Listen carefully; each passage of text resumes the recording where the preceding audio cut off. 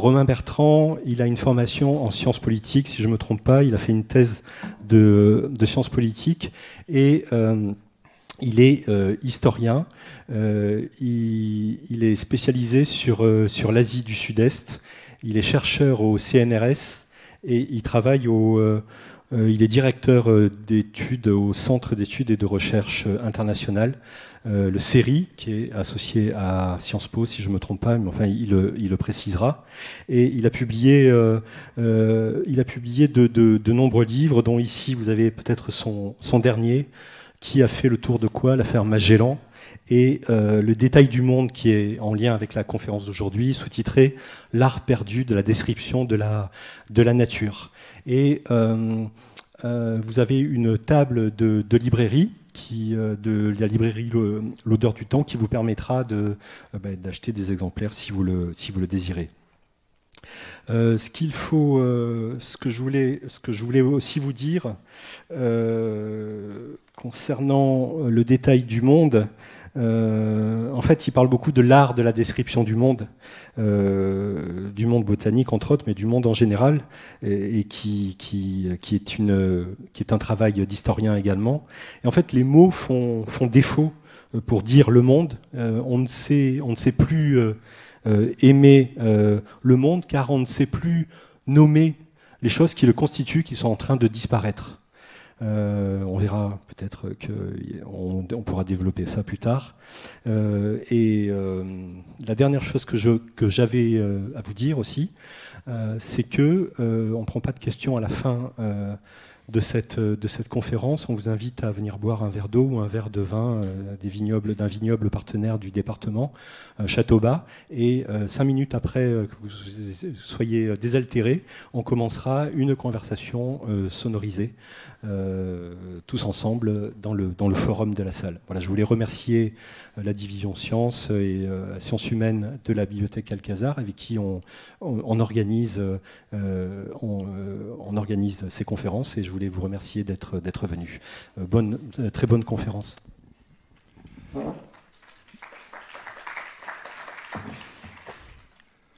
Merci Eric, merci à tous et à toutes euh, d'être là, enfermés au sous-sol d'une médiathèque par un, beau jour ensoleillé.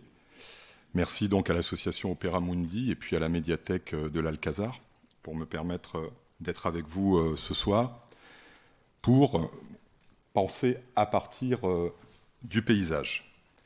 Euh, dans le cadre d'ailleurs d'un format de conférence assez intéressant qui est la conférence sans questions, et qui est une chose euh, effectivement euh, qui, laisse songeur, mais qui a ses charmes.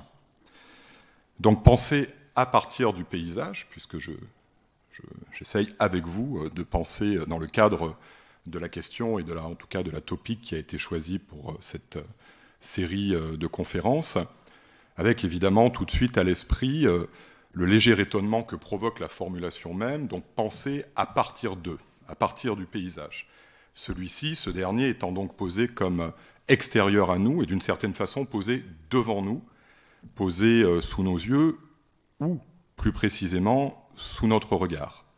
Et sous notre regard, ça veut dire eh bien, que ce n'est pas euh, la nature, le monde naturel, l'ensemble, le système que forment les êtres naturels qui se trouvent là à disposition euh, donc d'une observation qui le maintiendrait dans son être propre, mais la notion même de paysage, elle implique un monde dans lequel les choses sont toujours déjà un peu teintées par la pensée. Et c'est pour ça que je préfère, dans ce cas-là, utiliser le terme de regard, puisque regarder, c'est toujours darder une pensée sur le monde. Ce qui veut dire aussi que cette euh, notion de paysage, elle est propre euh, en histoire euh, de l'art, en histoire littéraire, à un moment, à un ensemble d'entreprises particuliers, où précisément ce qu'il s'agit de décrire lorsque l'on convoque l'idée du paysage, eh bien, ça n'est pas la nature telle qu'en elle-même, mais c'est la nature telle qu'elle est déjà pour partie le reflet, hein, le miroir, le réceptacle de nos émotions, de nos sentiments, de ce qu'elles provoquent en nous. Un bel exemple de cela, évidemment, c'est la poésie romantique, la première poésie romantique, Et j'ai toujours à l'esprit l'exemple de Shelley dans sa description du Mont Blanc, le poète britannique Shelley, et qui commence évidemment par nous parler de la grandeur immaculée euh, du Mont Blanc qu'il a sous les yeux, qu'il contemple, mais pour finir par nous dire que ce qu'il y a de plus beau dans ce qu'il voit, dit-il, eh bien c'est lui-même, c'est son propre esprit, my own mind, voilà. Et donc le paysage des romantiques, eh bien ça n'est pas le monde naturel qui s'offre tel qu'en lui-même à nous, c'est quelque chose qui est déjà euh, teinté euh, et presque peinturluré de nos sentiments, de nos émotions, de ce qu'il peut euh, provoquer en nous. Et ceci évidemment appelle une question, c'est qu'en est-il de la possibilité de décrire la nature, le vivant, les êtres naturels, tels qu'en eux-mêmes et dans leurs propres termes? Autrement dit, que serait une description de la nature qui ne serait pas le portrait d'un paysage, mais qui au contraire essaierait de ressaisir ce qu'elle voit, dans les termes mêmes euh, dans lesquels euh, euh, ce qu'elle voit s'exprime, ou en tout cas vit, s'épand, à sa propre temporalité. et cette question, en fait, comment décrire la nature telle qu'en elle-même, eh bien, c'est la question qui va obséder, question lancinante qui va obséder, à compter du sortir du XVIIIe siècle, une et même plusieurs générations de naturalistes. Et ce que je voudrais faire avec vous, c'est vous donner quelques éléments euh, de euh, la façon dont cette question s'est déclinée euh, de manière récurrente et véritablement presque obsessionnelle dans tout un pan de ce qui, à l'époque, forme le grand ensemble des savoirs naturalistes et qui ne sépare pas encore eh bien, les arts et la littérature euh, de ce que l'on appelle les sciences naturelles et euh, de ce que l'on appellera euh, plus tard les spécialités scientifiques relatives aux sciences naturelles. Alors, pour évidemment, tout d'abord vous indiquer que la question que je viens de poser, c'est-à-dire comment essayer de rendre compte de la nature dans ses propres termes, et pas seulement dans, les termes qu'elle nous inspire, c'est une question qui a été posée au sortir du XVIIIe siècle, avant aussi, mais en tout cas dans les termes qui nous intéressent au sortir euh, du XVIIIe siècle. Et, peut-être qu'on la trouve le plus exactement euh, formulée euh, dans un texte de Bernardin de Saint-Pierre, qui est le récit de son voyage à l'île de France, un texte de 1773, dont je vais vous lire un bref extrait. À force de nous naturaliser avec les arts, la nature nous devient étrangère nous sommes même si artificiels que nous appelons les objets naturels des curiosités. L'art de rendre la nature est si nouveau que les termes mêmes n'en sont pas inventés. Essayez de faire la description d'une montagne de manière à la faire reconnaître. Quand vous aurez parlé de la base, des flancs et du sommet, vous aurez tout dit.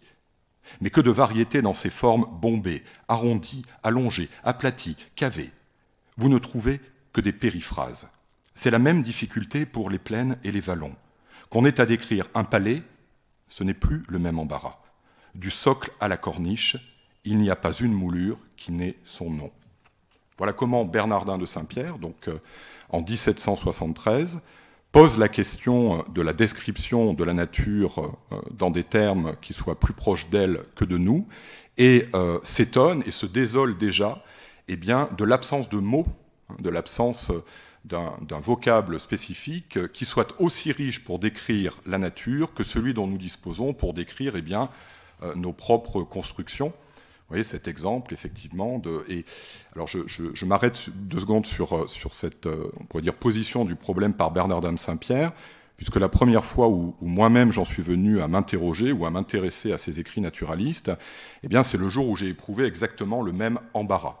Hein, parce que spécialiste de l'Asie du Sud-Est, je travaillais, je travaille euh, toujours, comme je peux dans les conditions actuelles, sur la côte nord de Bornéo, au nord-est de Bornéo, donc au Sabah, qui est une province, un État de Malaisie.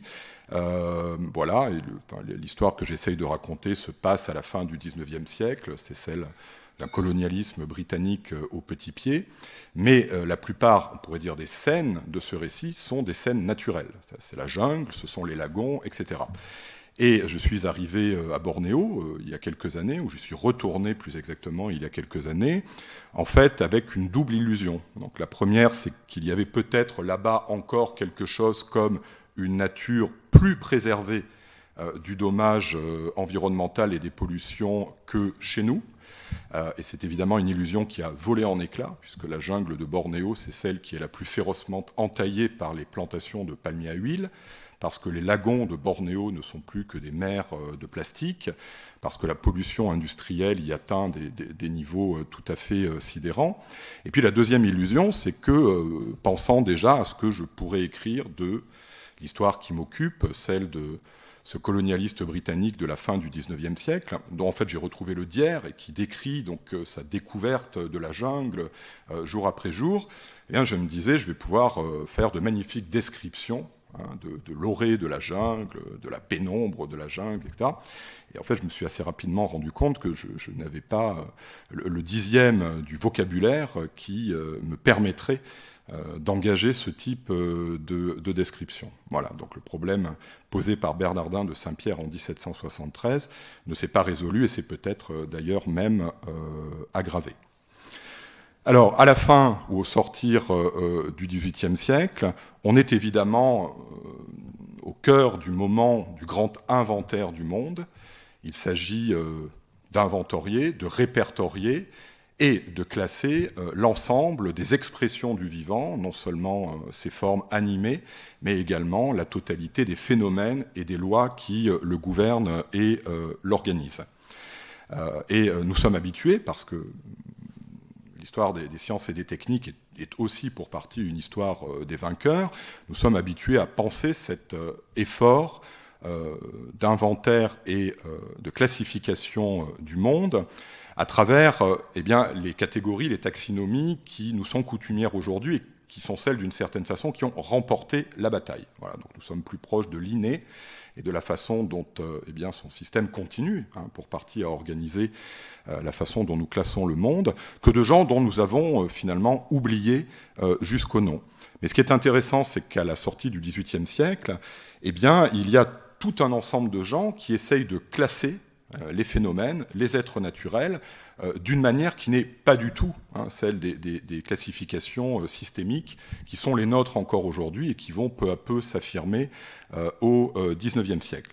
Et il y a parmi ces gens donc tout un ensemble d'auteurs que l'on rattache au courant dit de la théologie naturelle, et en particulier deux d'entre eux, donc que je vous présente ici brièvement, deux britanniques. Le premier, c'est le révérend William Kirby, et euh, le deuxième, donc, c'est William Sveinson, qui est en particulier connu pour ses travaux euh, d'ornithologie. Et euh, ces deux naturalistes britanniques de la fin du XVIIIe et du début du XIXe siècle eh bien, ont une activité de, description et de classification tout à fait considérable.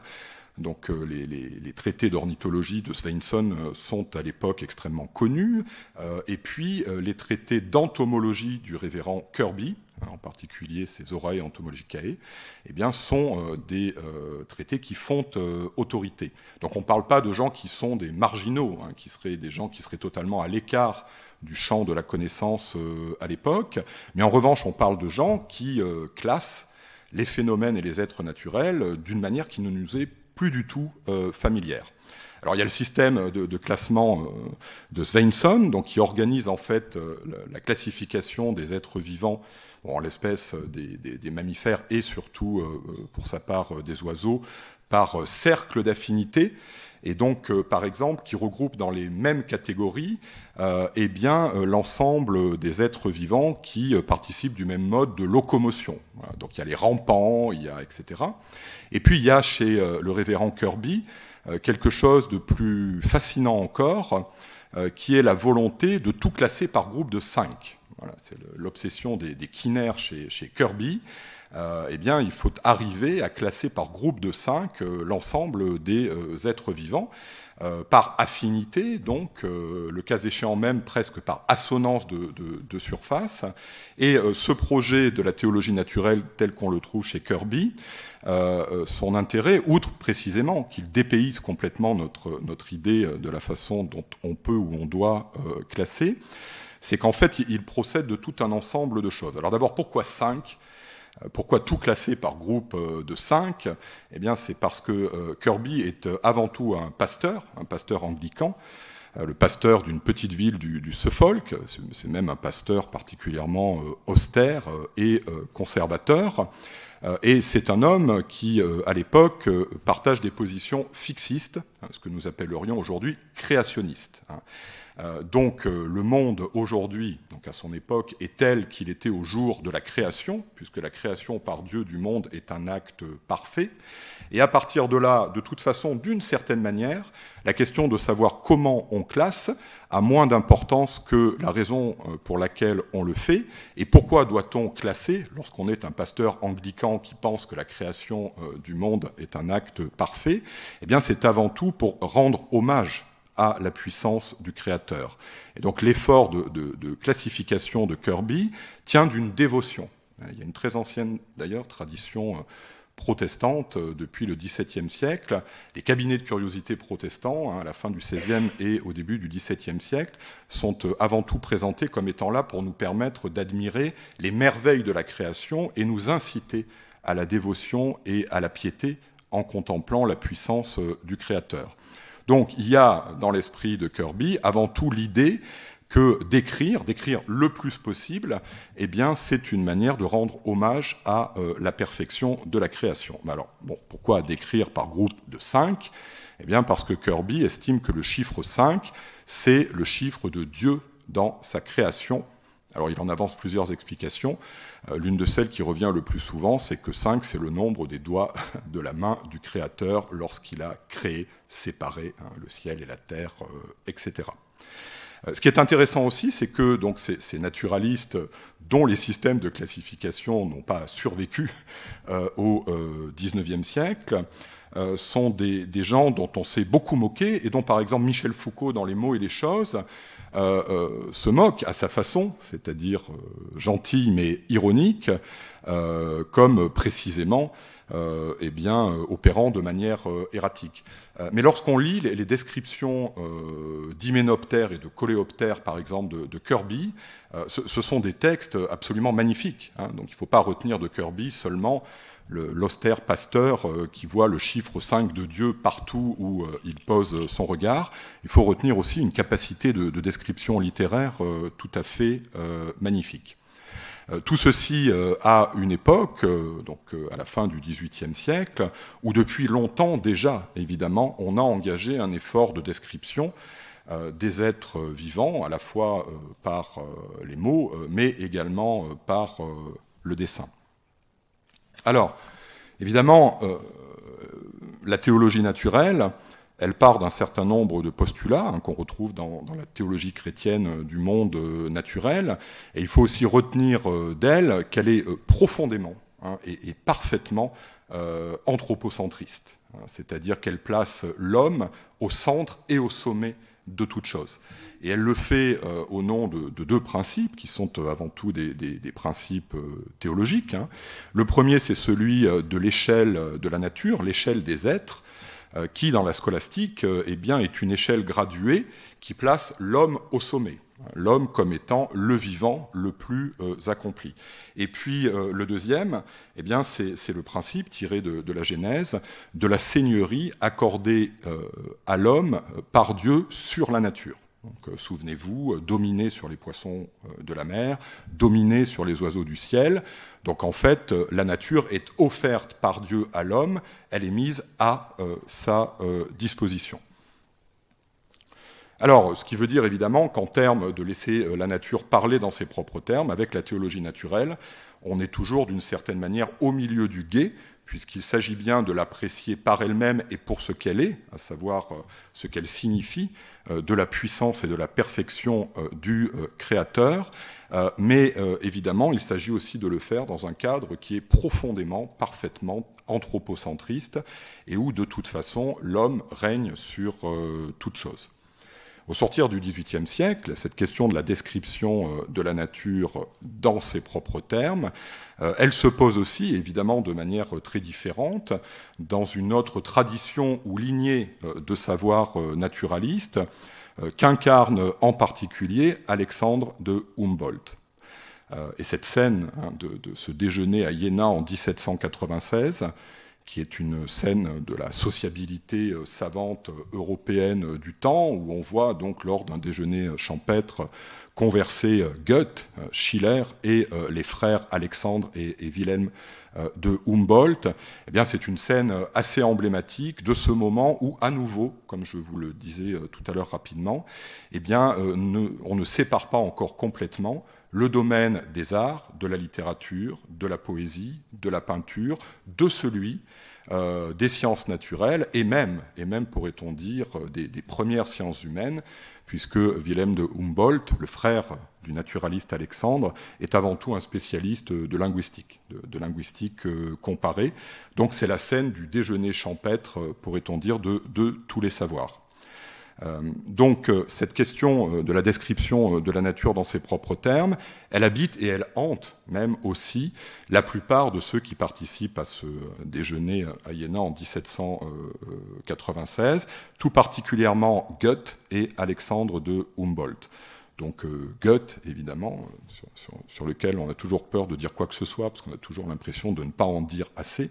Mais Goethe, qui est à la fois euh, le prince des poètes, hein, un homme qui règne sur le monde des lettres, et qui règne aussi, d'ailleurs, pour partie sur, sur l'Académie allemande, mais un homme aussi qui est un passionné de sciences naturelles, et notamment de minéralogie. Euh, qui écrit euh, par ailleurs un, traité euh, formidable sur la question de la genèse et de la croissance des plantes. Et donc Goethe, que l'on connaît avant tout comme une figure, une grande figure de l'histoire littéraire européenne, est également un homme qui est passionné par les sciences physiques et par les sciences naturelles.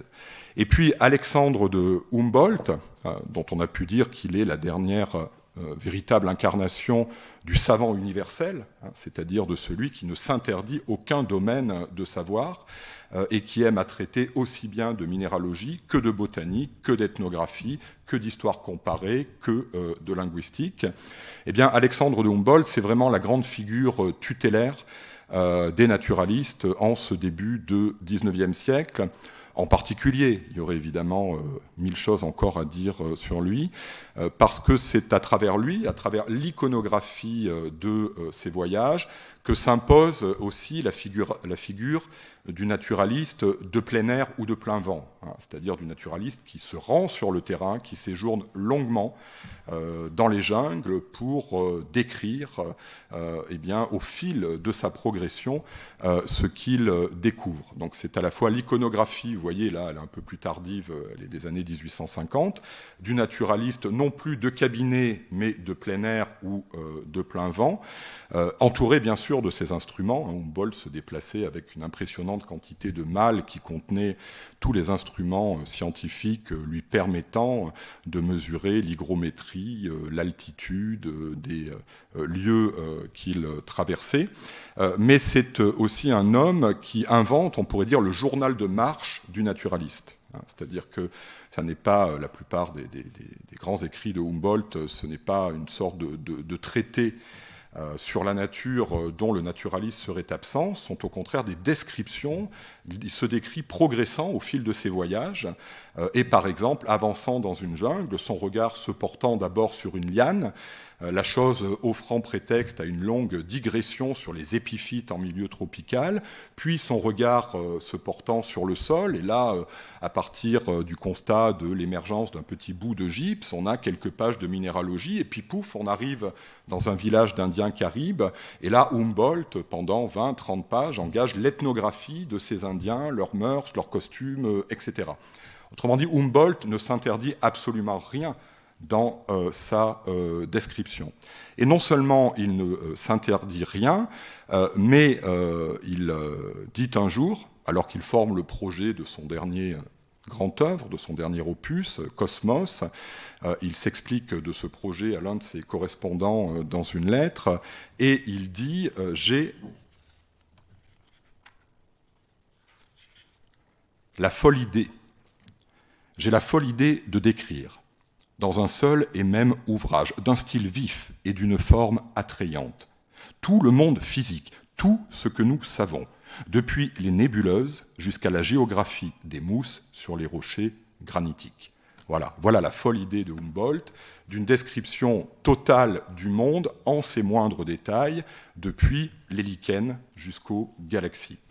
Et donc avec la figure tutélaire de Humboldt qui va planer sur plusieurs générations de naturalistes tout au long du XIXe siècle, eh bien il y a cette double idée ou cette double figure du, naturaliste de plein air, donc euh, qui voyage, euh, qui euh, tient son cabinet, on pourrait dire, au milieu de la jungle, et qui décrit au fur et à mesure où il découvre euh, se posant sans cesse d'ailleurs la question des moyens littéraires euh, de sa description, et puis cette folle idée, cette folle idée de la description totale du monde en euh, ses moindres détails.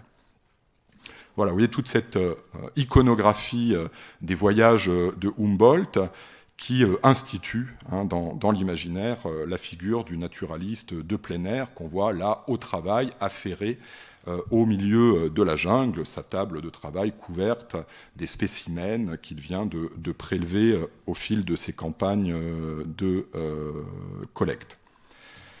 Cette idée d'une description totale du monde naturel, on la trouve également formulée à l'époque, peu ou prou à la même époque, disons 50 ans avant à peu près, dans un texte de Rousseau.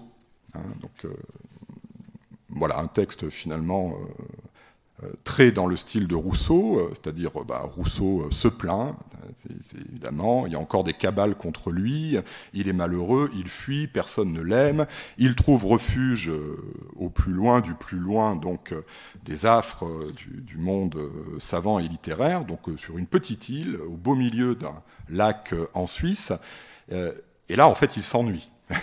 il s'ennuie. Lui qui cherche tout le temps la solitude, chaque fois qu'il la trouve, en fait, il s'ennuie très rapidement, Rousseau. Son principal problème. Il s'ennuie d'autant plus que les mâles qui contiennent ses livres ne sont pas encore arrivés. Donc euh, il n'a absolument rien à lire. Il est là, sur son île, et donc euh, euh, il décide, dit-il, d'entreprendre la description de la flore de cette petite île. Et il écrit J'entrepris de décrire toutes les plantes de l'île, sans en omettre une seule avec un détail suffisant pour m'occuper le reste de mes jours. On dit qu'un Allemand a fait un livre sur un zeste de citron. J'en aurais fait un sur chaque gramène des prés, sur chaque mousse des bois, sur chaque lichen qui tapisse les rochers. Enfin, je ne voulais pas laisser un poil d'herbe, pas un atome végétal qui ne fût amplement décrit. Voilà. Voilà une autre expression de la folle idée, donc euh, de décrire euh, en l'espèce la nature brin euh, par brin. Et évidemment, décrire la nature brin par brin, c'est d'autant plus difficile que tout change hein, tout le temps. Donc on voit les, premiers embarras, évidemment, que pose ce programme de description de tout dans le détail. je vous l'ai dit, la figure de Humboldt, elle exerce une, une puissance tutélaire sur les premières euh, générations de naturalistes du XIXe siècle, et c'est une figure qu'on retrouve euh, convoquée, en particulier dans les écrits euh, des co-découvreurs de la théorie de l'évolution, puisque à Darwin, il faut adjoindre le personnage de Wallace.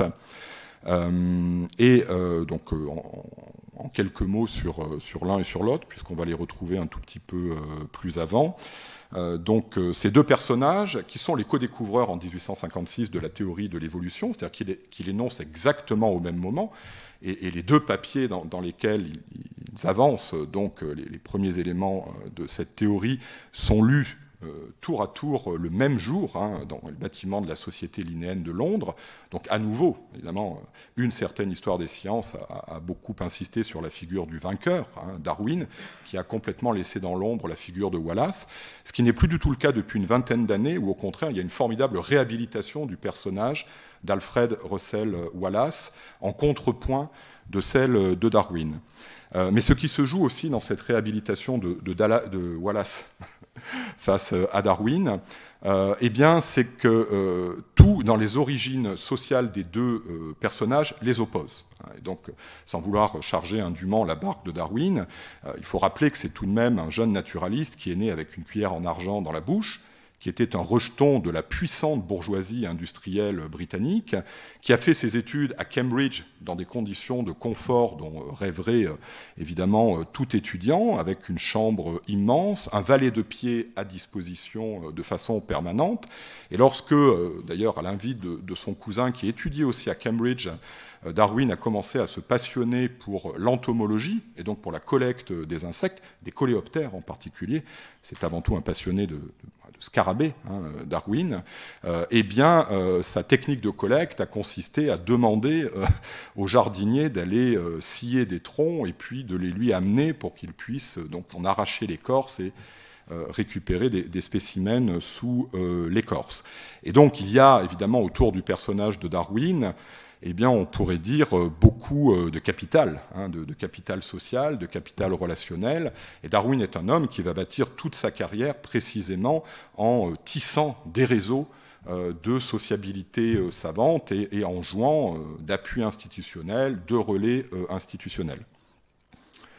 À l'inverse, Alfred Russel Wallace euh, est présenté aujourd'hui d'une certaine manière comme le contrepoint prolétaire hein, euh, de euh, Darwin. Alors ça, n'est pas un homme qui vient des couches les plus basses de la société britannique du temps, mais ça n'a strictement rien à voir avec Darwin. Il est le fils d'un petit rentier hein, de l'ouest de l'Angleterre, et son père, en fait, euh, va rapidement être ruiné. Donc, en fait, c'est euh, l'enfance et l'adolescence de Darwin, de, pardon, de Wallace. C'est l'histoire, en fait, de l'effritement de la fortune familiale qui conduit Wallace, comme ses frères, à devoir très tôt gagner sa vie. Et donc, au sortir de l'adolescence, eh bien, Wallace va d'emploi en emploi. Et il commence en particulier, pendant plusieurs années, il va être aux côtés de l'un de ses frères, arpenteur. Il va littéralement arpenter les campagnes anglaises, c'est-à-dire les mesurer. Alors pourquoi? Parce qu'à l'époque, il y a une réforme de la perception de la dîme, et donc tous les pasteurs des campagnes anglaises font mesurer à nouveau les champs pour être bien sûr de l'assise hein, à partir de laquelle ils vont lever la dîme. Et donc les frères Wallace sont embauchés par des tas de pasteurs, hein, probablement euh, grincheux comme euh, le révérend William Kirby, euh, pour mesurer hein, des, champs, voilà, des, possessions agricoles. Et ce qui veut dire évidemment qu'ils passent des semaines et des semaines dans la nature. C'est là où s'éveille l'intérêt de Wallace pour les insectes, enfin d'Alfred, de l'un de ses frères par ailleurs pour les orvées et les lézards. Donc voilà, évidemment, c'est une toute autre euh, histoire ou trajectoire sociale euh, que celle euh, de Darwin. C'est pour partie un autodidacte, hein, puisque Wallace va s'initier en particulier à l'entomologie scientifique du temps par le biais de cours du soir, hein, dans, ses premiers instituts d'éducation populaire pour adultes qui avaient été créés dans les années 1830-1840 en Angleterre.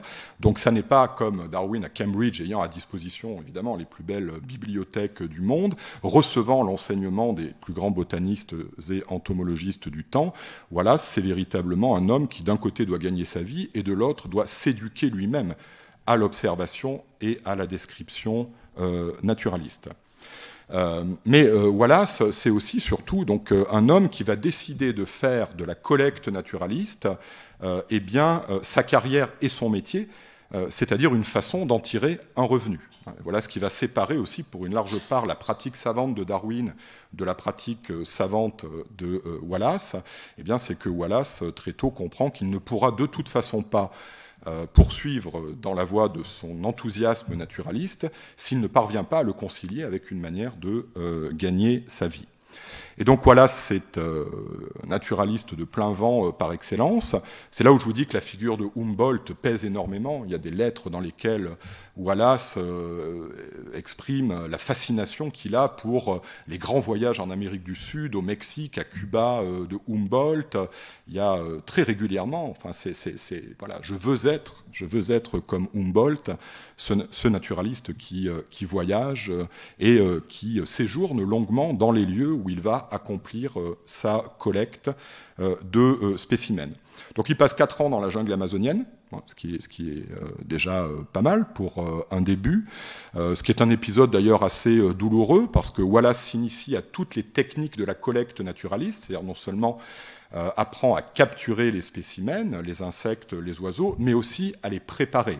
Hein, donc euh, à euh, épingler euh, et, faire sécher les insectes, mais aussi bien à préparer les oiseaux, hein, comme le veut la langue des naturalistes du temps, qui est pleine d'euphémismes, c'est-à-dire concrètement eh bien, à les éviscérer, à passer leur plumage à la solution arsenicale, à les bourrer d'étoupe, etc. Donc il y a l'apprentissage de toute cette dimension euh, matérielle de la préparation euh, naturaliste. Euh, et puis c'est par ailleurs un séjour parfaitement dramatique, puisqu'en fait le jeune frère de Wallace, qui venait le rejoindre hein, pour courir les bois, ou en l'espèce la jungle avec lui, eh bien, va, va mourir voilà, donc, au Brésil, avant même d'ailleurs d'avoir pu rejoindre son frère dans la jungle. Et puis, euh, le deuxième grand moment dans la vie de Wallace, et la raison pour laquelle j'ai un jour croisé, moi, les écrits euh, de Wallace, eh bien, c'est le très long séjour qu'il accomplit en Indonésie entre 1854 et 1862. Huit années de voyages quasi incessants euh, d'île en île en Indonésie, jusqu'aux confins de l'Indonésie orientale, jusqu'aux côtes de la Papouasie-Nouvelle-Guinée. Voilà, c'est bien l'un des rares Européens euh, au XIXe siècle à avoir voyagé jusqu'aux îles Moluques et surtout, par exemple, jusqu'au Raja Ampat, qui sont un tout petit archipel au, nord-ouest de euh, la Papouasie. Et pendant huit années, il voyage sans cesse. Alors, il établit des camps de base. Hein, euh, il en établira un euh, à Bornéo, au Sarawak, euh, puis ensuite il en, établira un euh, sur l'île de Lombok, à côté de Bali. Donc il y a toujours un camp de base à partir duquel il rayonne, hein, où il s'installe pour plusieurs mois, mais en fait il est toujours quasiment en mouvement.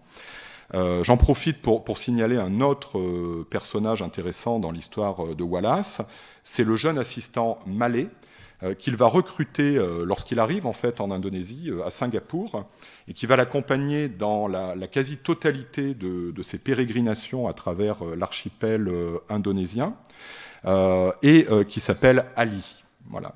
Ali comment, nous ne le savons pas, puisqu'à nouveau, dans l'histoire, il est passé sous le nom d'Ali Wallace. Donc Ali, c'est le jeune malais, il avait peut-être 15, 16, 17 ans, que Wallace se donne pour assistant Hein, euh, tout au long de euh, ses voyages. Et euh, ce personnage est extrêmement intéressant parce que pendant très longtemps, il a été présenté, alors par Wallace lui-même dans ses mémoires, à nouveau, imitation du journal de marche de Humboldt. Wallace va tirer de cette pérégrination de huit années en Indonésie un livre qui s'appelle The Malay Archipelago, A Voyage to the Land of the Orang-Outans and Birds of Paradise, c'est quand même très. Euh, voilà, c'est pas, un titre savant et austère. Il y a quand même la volonté d'aller vers euh, un public euh, élargi, dirait-on aujourd'hui. et c'est un livre exactement sur le modèle des, descriptions en actes de Humboldt, quoi, qui avance dans la jungle et qui d'ailleurs ne, cache pas les difficultés de la progression, etc. Et donc de Malay Archipelago, c'est vraiment un, récit de voyage dans la plus pure tradition britannique impériale du temps.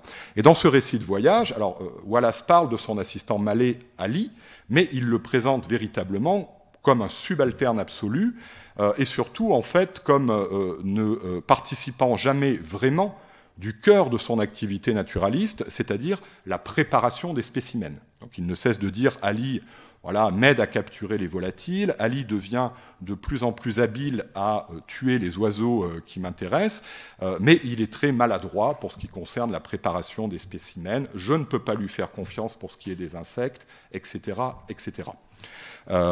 et donc c'est évidemment le, fidèle assistant indigène de l'explorateur européen, ce qui est aussi un, voilà, topos de, la littérature coloniale britannique du temps. Mais euh, on se rend compte, en fait, hein, à travers les correspondances euh, de Wallace, qu'Ali, très rapidement, n'est plus euh, simplement une sorte de boy qui lui sert d'assistant, voire de domestique. Ali prend la tête de petites équipes de chasseurs, Hein, euh, et Wallace les envoie, parfois dans, l'île voisine, hein, euh, pendant plusieurs semaines. Donc Wally organise euh, littéralement, en recrutant de la main-d'œuvre locale, des battues dans les jungles ou dans les plaines. Et c'est Ali qui ramène en fait l'essentiel, par exemple, des volatiles, hein, des oiseaux, dont Wallace s'attribue euh, par la suite la paternité euh, de la découverte.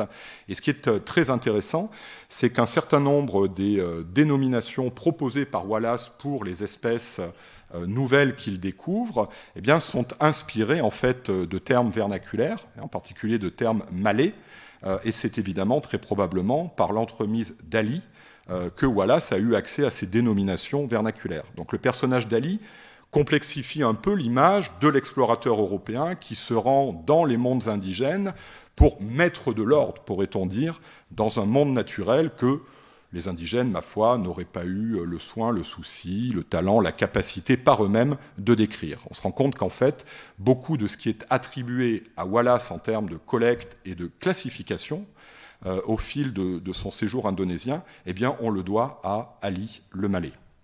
Il y a d'ailleurs une réhabilitation de ce personnage. Il y a une exposition euh, organisée euh, autour de lui au, Musée national de Singapour euh, il, y a, il, y a, deux ans. Donc vous voyez, c'est aussi, on est dans un mouvement, dans un moment où on réhabilite le rôle de ces gens qui n'étaient pas seulement les auxiliaires indigènes des naturalistes européens, mais qui ont été les co-découvreurs d'un certain nombre de ce qu'on leur attribue ordinairement. J'en profite pour vous montrer quelques voilà, exemplaires de pages des carnets de Wallace, puisque Wallace est, un fou du carnet et du croquis. Wallace a en permanence sur lui deux à trois euh, carnets dans lesquels il note tout, tout ce qu'il trouve. Il enregistre euh, euh, le lieu exact Hein, je veux dire, la, section euh, boueuse de l'ouest de la crique euh, du cap sud de l'île de Lombok, euh, le mardi 1869 à 16h, trouver tel spécimen qu'il décrit et surtout qu'il dessine. Et vous voyez là sur sur la partie gauche de, la présentation, vous voyez des croquis donc d'insectes, hein, en l'espèce des, des cicindelles. Euh, il y en a des, centaines dans les carnets de Wallace. Hein. Et parfois, d'ailleurs, il ne dessine pas euh, les insectes dans son ensemble, mais les carapaces. Les carapaces, hein, les carapaces de scarabées. Euh, on n'a pas le temps de rentrer dans les détails, mais c'est à partir des carapaces de scarabées que Wallace euh, va avoir euh, l'intuition de sa théorie euh, des divergences adaptatives, c'est-à-dire voilà, d'un des principes fondateurs de la théorie de l'évolution qu'il va présenter en même temps que Darwin en 1856. Donc l'attention extrême portée aux détails d'une carapace est ce qui va fonder la grande découverte théorique de Wallace. Il ne dessine pas que des insectes, hein, il dessine aussi des poissons, des batraciens, les palmiers. palmiers. Wallace a une passion pour le dessin de palmiers. Euh, d'autres extraits hein, de, ces carnets, des milliers et des milliers de pages. Ils sont d'ailleurs tous consultables, ils ont été intégralement digitalisés par euh, euh, le, National History Museum, donc on peut les consulter en ligne et vous pouvez comme ça feuilleter hein, des centaines et des centaines de pages d'observations par Wallace sur le terrain. Alors, donc après avoir présenté cette première génération de naturalistes qui vit, euh, on pourrait dire, dans, l'ombre portée et dans la légende de euh, Humboldt, Darwin et plus encore euh, Wallace, eh bien, donc, qu'en est-il hein, pour eux de cette question, de cette folle idée, disait Humboldt, d'une description de la totalité du monde, mais dans ses moindres détails hein. Et c'est une question qui est inévitablement euh, une question de moyens littéraires. Donc Wallace, aussi bien qu'avant lui Humboldt, et aussi bien qu'avant Humboldt, Bernardin de Saint-Pierre ou Goethe, se pose la question des mots, de la façon dont par les mots on peut faire advenir cette description.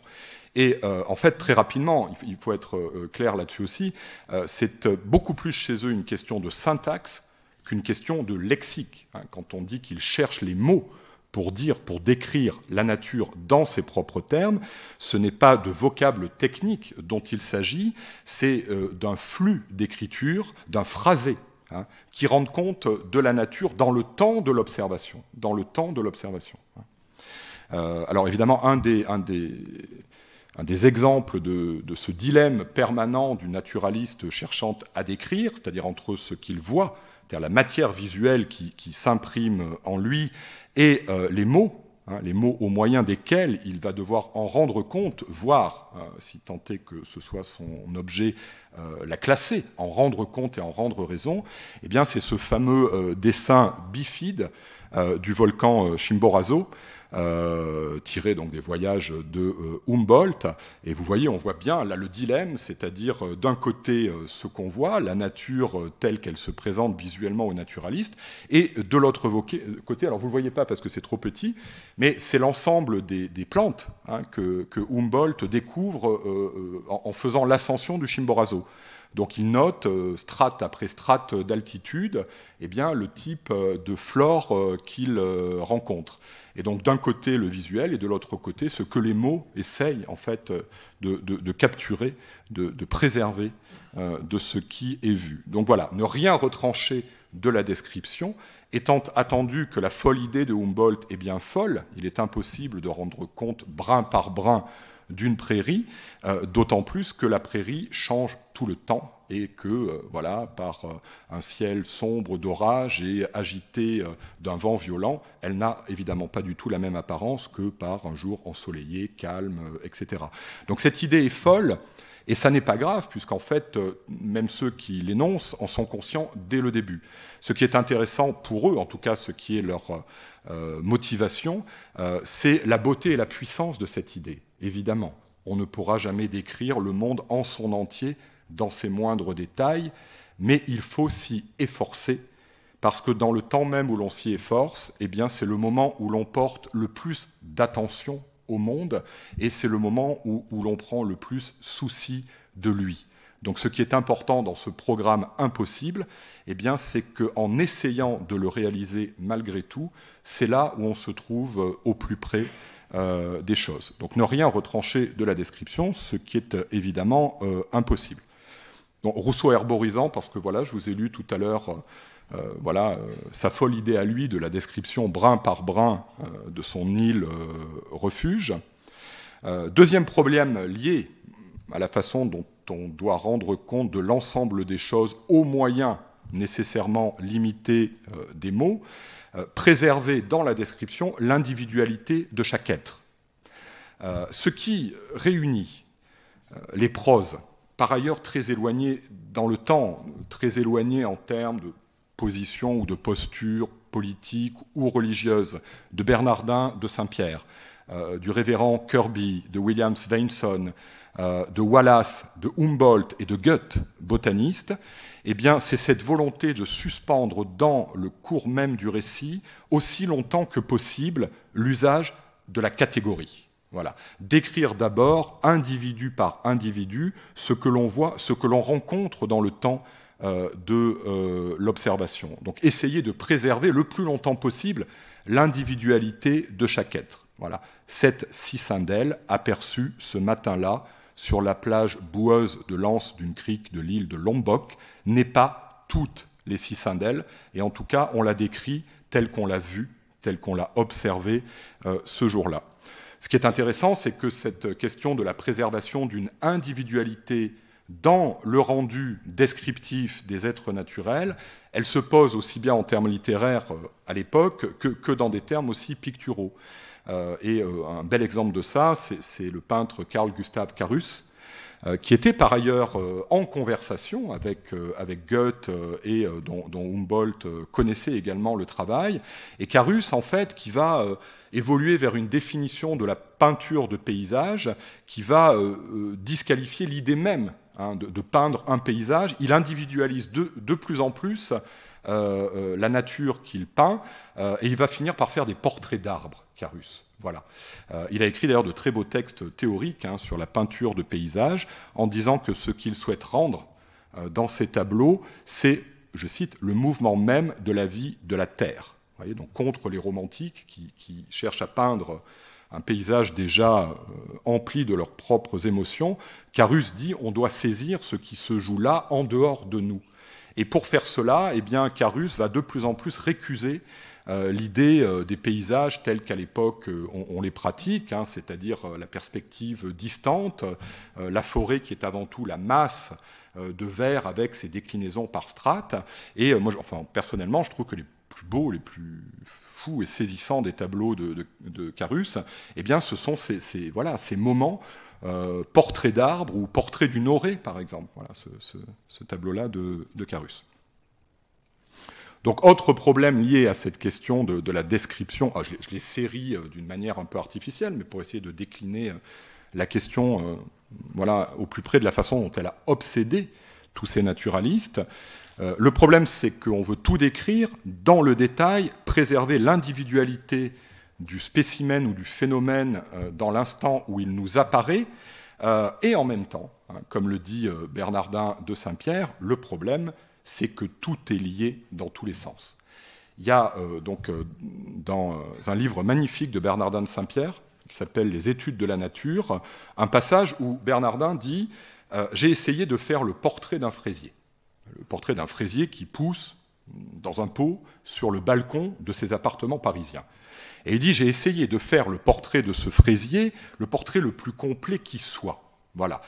Et il dit, j'ai commencé évidemment par euh, les tiges, les pétales, euh, et je me suis rendu compte qu'en fait, pour parler du fraisier, et donc euh, de sa vie, de sa croissance, je ne pouvais pas m'en tenir là, il fallait aussi que je parle de la terre, puisqu'elle est source de nutriments, il fallait que je parle de ses radicelles, au moyen desquelles il s'approvisionne, mais il fallait aussi que je parle du soleil, au moyen duquel il réalise sa photosynthèse, etc., etc. il a dit, ce simple petit fraisier que je voulais capturer en quelques mots, eh bien je n'y arriverai jamais parce que pour parler de sa vie, de ce qui le fait exister, en fait, il faudrait que je ramène le monde entier dans ma euh, description. Donc tout est lié dans tous les sens, ou le problème du fraisier de Bernardin de Saint-Pierre. Et puis un autre euh, problème, particulièrement embarrassant pour les naturalistes euh, du XIXe siècle, je, je, te signale, Eric, au passage, que je n'ai aucune montre ni horloge. Voilà, merci Eric. Donc, euh, problème numéro 4, mais il n'y en a plus beaucoup, euh, la question du nuancier euh, de la nature. parce que l'un des problèmes les plus embarrassants pour les naturalistes, donc l'un des secteurs critiques de l'embarras de mots, de fautes ou de carences de mots dont parlait Bernardin de Saint-Pierre, eh c'est la question des couleurs, la question du, rendu des, des couleurs des surfaces de la nature ou des surfaces des êtres naturels. Et alors, je vais très vite, mais c'est un problème particulièrement embarrassant pour les naturalistes, puisqu'il faut qu'ils puissent euh, décrire euh, d'une manière telle, hein, d'une manière suffisamment euh, précise et intelligible, pour que, à demeure, à leur retour en Europe, eh leurs collègues naturalistes, eux, puissent se faire une idée précise de l'insecte, de l'oiseau ou de la plante. Alors vous me direz, bah oui, mais ils envoient des spécimens. Alors c'est vrai, ils envoient des spécimens, mais par exemple, un des gros problèmes des naturalistes, c'est que euh, la couleur des, plumes, des oiseaux, hein, des rémiges, euh, en fait s'altère euh, lorsqu'on les transporte depuis le milieu tropical jusqu'en métropole. en plus, ça coûte très cher, il y a, les spécimens sont rares, etc. Et puis, on ne peut pas le faire, évidemment, pour tout. On ne peut pas tout ramener, parce que l'idéal pour décrire au mieux euh, ailleurs en Europe, ce serait de ramener ailleurs et de refaire le, monde lointain à l'échelle 1 sur 1 à demeure. Mais ça non plus, malheureusement, euh, ça n'est pas possible. Et donc la question des couleurs est une couleur euh, critique. Alors vous me direz, bah oui, mais ils peuvent dessiner sur place et puis ramener leur dessin. Oui, mais alors le problème, c'est que les couleurs elles-mêmes s'altèrent aussi. Hein, un gros problème des naturalistes dans les années 1820-1840, c'est les bleus. Voilà, les bleus, hein, les bleus, le bleu de Prusse, etc., sont des bleus qui s'oxydent rapidement. Hein, il y aura d'ailleurs toute une compétition européenne au XIXe siècle pour trouver des bleus chimiques qui ne présentent pas les caractères d'oxydation et d'altération. Donc vous avez beau dessiner hein, avec votre petite palette de couleurs au beau milieu de la jungle en Indonésie, le problème c'est qu'entre le moment où la couleur perçue par votre œil, vous la rendez euh, sur votre palette, et le moment où des mois après, dans des conditions d'hygrométrie complètement différentes, revenu en Europe, vous montrez le dessin, la couleur n'est plus la même. Le deuxième problème, c'est que euh, l'œil humain euh, ne perçoit pas nécessairement exactement les couleurs euh, tout le temps de la même façon. Donc quand on vous présente ces vêtements bleu marine très foncés, vous avez éternellement cette discussion avec votre conjoint ou votre compagne sur le fait que c'est noir ou non, c'est bleu marine très très très foncé. Voilà. Alors imaginez lorsqu'il s'agit, hein, sur une espèce nouvellement découverte de scarabées aux élytres moirés euh, ou euh, euh, d'oiseaux aux rémiges particulièrement nuancés au sens propre, imaginez l'embarras pour trouver, transmettre le, ton, hein, la teinte exacte. Et donc, évidemment, les naturalistes cèdent de nuanciers. Alors, Humboldt cédait déjà d'un nuancier du ciel, hein, un cyanomètre qui permettait donc eh bien d'indiquer que tel jour, ayant observé les cieux, ils étaient très exactement de, telle couleur. Enfin, voilà, numéro 44 sur le nuancier. ça, c'est un des nuanciers de, Humboldt, un cyanomètre qui mesure le cyan euh, du ciel. Et les naturalistes cèdent, eux, euh, d'une nomenclature des couleurs, qui est celle de Werner et Seim, euh, qui, est, qui est un petit livre, pas un petit livre assez épais, qui est par exemple celui dont cède Darwin à bord du Beagle. Hein, Darwin explique à plusieurs reprises qu'il ne se sépare jamais de la nomenclature des couleurs de Werner et de Seim. Euh, et dans les descriptions euh, que euh, Darwin produit, hein, durant son, périple sur le Beagle et puis après, en fait, il utilise hein, les, teintes du nuancier de Werner et Seim. alors, on ne va pas rentrer dans les détails, on n'a pas le temps, mais ce nuancier est tout à fait fascinant, puisque en plusieurs occasions, en fait, il donne à la couleur ou à la nuance le nom de l'être qui la porte le mieux. Hein. Donc, euh, par exemple, euh, il y a un verre très particulier qui, est un verre euh, biliaire, au sens où il est comme la bile de certains animaux. C'est-à-dire qu'en gros, d'une certaine manière, les, mots ne peuvent jamais aller beaucoup plus loin que les choses lorsqu'il s'agit d'être assez précis pour les décrire et les désigner. Voyez Donc il y, a un côté complètement paradoxal, magnifiquement fou, quoi, en fait, dans la nomenclature des couleurs de, Werner. Mais c'est le nuancier des euh, naturalistes euh, voyageurs. Il y a dans ces années, hein, des premières décennies du XIXe siècle, des choses formidables comme eh bien, cet homme, Luke Howard, qui lui va essayer d'établir une nomenclature des nuages. Voilà. Hein. vous vous moquez, mais en fait, il y est parfaitement parvenu, puisque si vous parlez aujourd'hui de cumulonimbus et autres stratus, eh bien, c'est à Luke Howard qu'on le doit.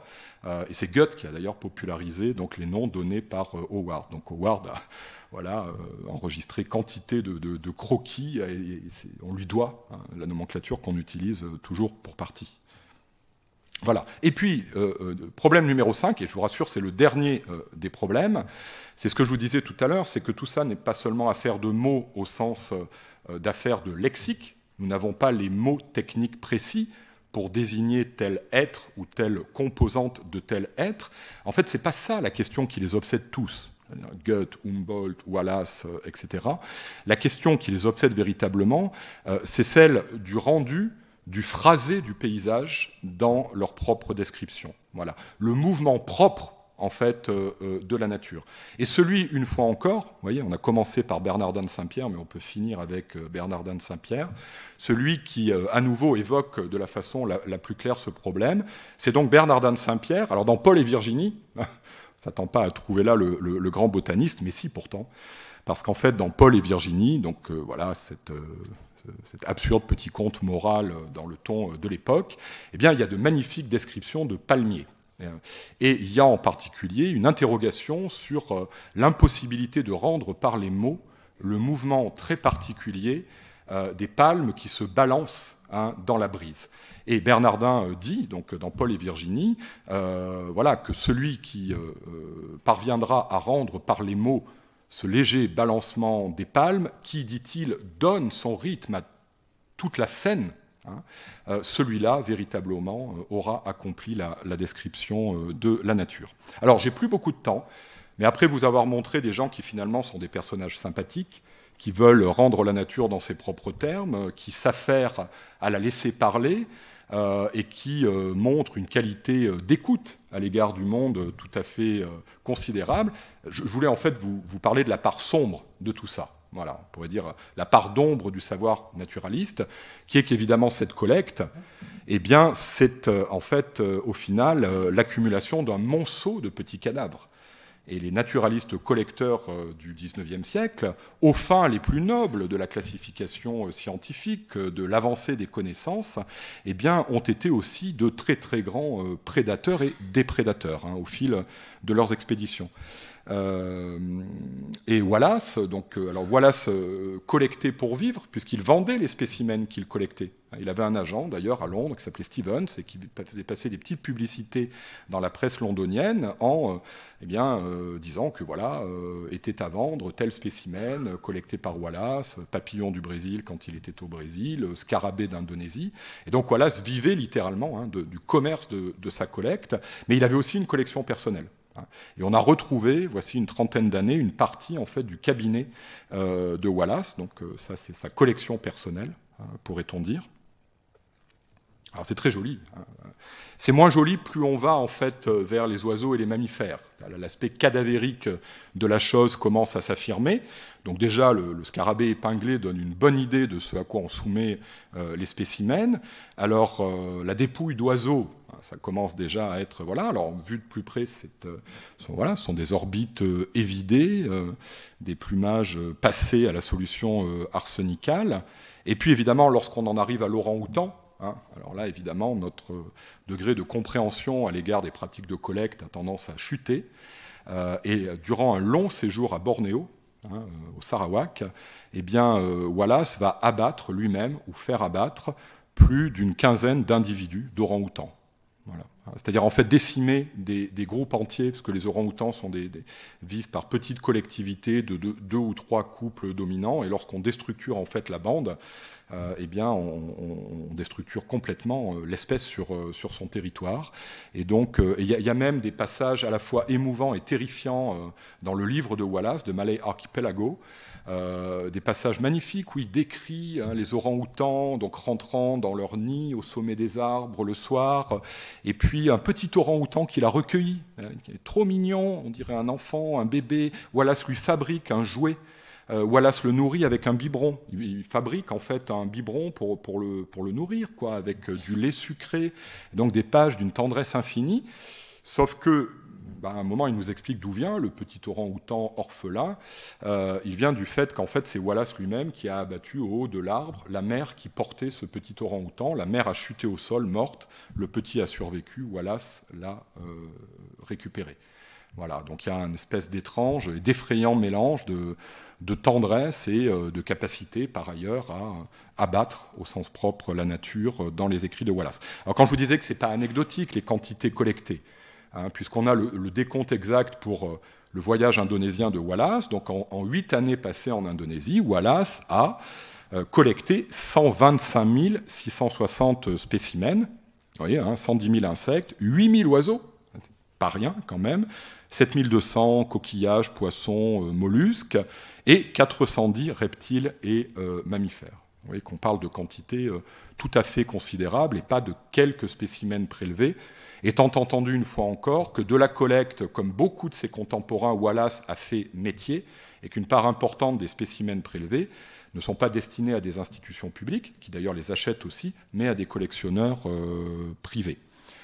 Voilà, les holotypes, hein, les holotypes, euh, c'est-à-dire le, premier spécimen qui permet en fait d'identifier euh, une espèce nouvelle et que l'on préserve Hein, aujourd'hui encore, d'ailleurs, hein, dans les caves du Muséum national d'histoire naturelle, on a des holotypes. Euh, et en fait, l'holotype, on pourrait dire que c'est le cadavre alpha à partir duquel on continue à euh, euh, classer ses congénères, ou en tout cas descendants toujours vivants. Voilà, il y a quand même une part assez sombre et en tout cas assez lugubre derrière tout ça. On pourrait parler aussi des magnifiques donc, dessins d'oiseaux d'Audubon, c'est un grand dessinateur et peintre naturaliste états-unien des années 1820-1840. Euh, et par exemple, les, flamants roses d'Audubon, un intérieur américain sur trois a un poster des flamants roses d'Audubon. C'est vraiment le truc qu'on voit absolument partout, dans les mauvaises chambres de motel, etc. Et euh, le discours sur Audubon est double. D'abord, c'est le pionnier de la prise de conscience écologique aux États-Unis. C'est pour ça qu'une société Audubon a pendant longtemps été la, première et la plus importante des sociétés euh, euh, environnementalistes euh, américaines. et deuxièmement, mais, quelle incroyable capacité à rendre, à croquer sur le vif au sens propre, hein, c'est-à-dire à observer et, à peindre dans le même temps des spécimens vivants. eh bien, rien n'est plus faux, malheureusement. D'abord, Audubon est peut-être un pionnier de la conscience environnementale, mais c'était un effroyable chasseur. Hein, un type qui disait Je ne suis pas heureux quand j'arrive quelque part et que je n'abats pas 100 spécimens par jour. Et en fait, ces carnets sont des carnets de chasse euh, qui sont emplis de. Enfin, ce, type tirait 200 cartouches par jour, tout le temps, euh, prélevés dans des quantités absolument effrayantes des spécimens. Euh, voilà. et en plus, en fait, ces, portraits sur le vif sont des portraits de cadavres, parce qu'il ne croquait jamais sur le vif, il abattait, ensuite il clouait le spécimen sur des planchettes de bois, il avait ensuite en gros trois jours pour le peindre avant que la puanteur du cadavre ne l'empêche d'achever son office. Donc voilà un bon exemple avec Audubon aussi de cette ambiguïté au cœur de la pratique naturaliste du XIXe siècle, une capacité à célébrer le vivant, à appeler à sa contemplation et à sa préservation, mais doublée euh, eh bien, d'une collecte qui est aussi avant tout une pratique de chasse et de déprédation. Tout ceci, évidemment, dans un monde ou dans un moment, victorien en particulier, où on adore mettre le monde sous cloche. Hein, voilà. Et, euh, en fait, c'est effrayant quand on les pense maintenant comme des petits cadavres arrangés, ces, dioramas euh, animaliers victoriens. C'est la grande époque de la taxidermie, évidemment, le, le, le 19e siècle. C'est l'époque où on met le monde en cage, littéralement, où l'on invente hein, ce qui va devenir l'aquarium euh, contemporain et le terrarium. C'est le monde où on essaye même de mettre la nature en napperon hein, pour la ranger dans la bonne tière. Il y, a une mode des napperons d'algues victoriens, euh, où en fait ce sont des vraies algues hein, qu'on fait sécher et puis ensuite qu'on brode sur, euh, sur, un, sur. Voilà. Euh, et pour conclure, parce qu'il faut, là, je crois, j'ai plus, c'est fini. Hein. Eh ben voilà. Et pour conclure, euh, ce que euh, essayer de préserver Bernardin de Saint-Pierre, les praticiens de la théologie naturelle, Humboldt, Wallace, c'est-à-dire le, souvenir de l'individualité de la rencontre à un moment donné avec un individu, euh, euh, eh s'efface progressivement au fil et surtout au sortir du XIXe siècle, avec au contraire l'obsession de la catégorie voilà, et de la loi des ensembles. Euh, alors je voulais vous donner quelques exemples. À nouveau, hein, ça c'est les, les, les, formes de la nature de Ernst Haeckel, Hein, qui connaissent régulièrement des regains de fortune éditoriale et esthétique. Hein. on ne cesse de s'éblouir de...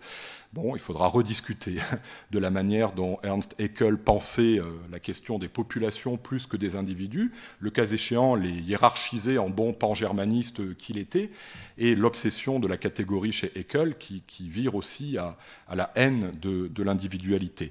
Euh, de la même manière que ces magnifiques portraits de végétaux de Karl Blossfeld, Hein, donc c'est la microphotographie euh, des années 1920-1930. Alors évidemment, ils sont magnifiques, mais c'est, quand même surprenant quand on lit donc les, textes de, de, Blossfeld sur la manière dont euh, justement il prépare ces, végétaux. Donc il va au petit matin les couper dans les champs, et puis ensuite il faut les, les garder en vie Hein, ou, leur garder les apparences de la vie pour faire la photo. Et alors là, c'est de l'ingénierie, donc on ingère des, petites euh, tiges métalliques, euh, évidemment, euh, dans les tiges naturelles pour qu'elles restent droites, on les trempe dans de l'eau glacée, on les frotte de glaçons, et donc à nouveau, ce qu'on pourrait prendre pour une sorte de gros plan sur la vie même, est en fait de la thanatopraxie de, photographes de, petits cadavres végétaux. Mais la note d'optimisme pour conclure, c'est que tout n'a pas disparu de la folle idée de Humboldt, en tout cas du, rêve d'une description totale et en détail du monde, puisqu'on voit cette question descriptive ressurgir aussi euh, au XXe siècle chez Paul Valéry euh, et plus tard évidemment chez euh, Francis Ponge et chez bien d'autres. Je m'arrête.